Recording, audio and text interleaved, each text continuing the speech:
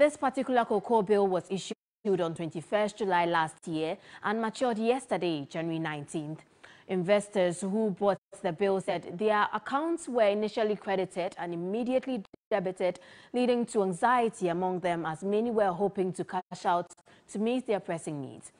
It is unclear why the cocoa bills were not honored since government has this year even paid interest on two different bonds that matured on the 3rd of January and the 16th, which is just this week Monday.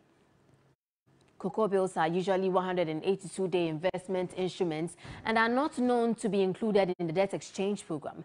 Besides, a 182-day bill is a short-term investment which are normally not included in such debt exchange programs. Investors who called Three Business on anonymity to complain were fuming, asking government to honor the payment.